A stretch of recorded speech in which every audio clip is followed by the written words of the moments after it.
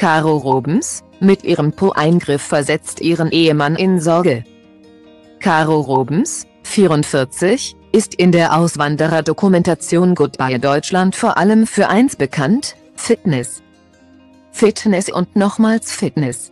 Die begeisterte Bodybuilderin setzte in der Vergangenheit deshalb auf harte Trainings und Diäten. Doch, nicht alles hat sich dadurch so in Form bringen lassen, wie sie es sich gewünscht hat. Das zeigt sich in der neuen Episode der Doku-Soap, in der es die Auswanderin gleich zu einer Reihe von kostspieligen Beauty-Eingriffen kommen lässt.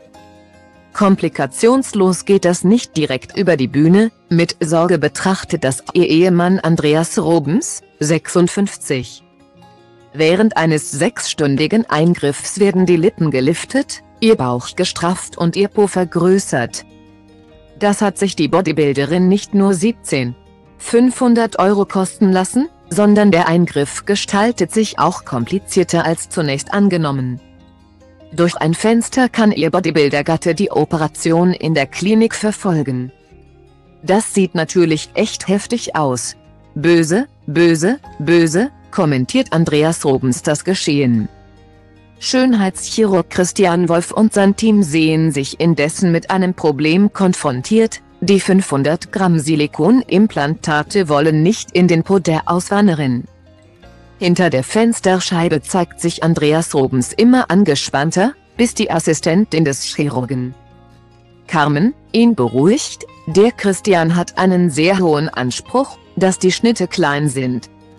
Weswegen das Einsetzen, Zeit in Anspruch nimmt. Anschließend sitzt das Implantat. Es lässt sich aufgrund früher Eingriffe und Vernarbungen, jedoch nur schwer in Form bringen. Die Operation an ihrer Kehrseite verläuft letztendlich gut. Aufgrund der Schmerzen kann die Auswanderin dennoch erstmal nicht mehr sitzen. Das sieht nach einem Besuch des Drehteams, acht Wochen später, anders aus. Die Schmerzen seien vorüber. Nur mit den Nähten müsse sie noch ein wenig aufpassen. Über ihren neuen Po freut sich vor allem auch Andreas, der ist doch mal schick, oder nicht? Es ist nicht das erste Mal, dass die Bodybuilderin sich einem Eingriff am Po unterzieht.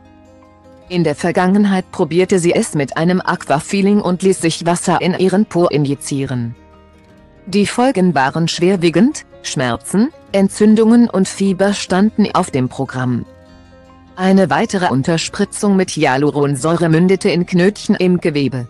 Fernab vom Po hat die Goodbye Deutschland Auswanderin vor zwölf Jahren auch ihre Brüste operieren lassen. Ihr Gesicht ließ sie sich mit einem Fadenlifting straffen.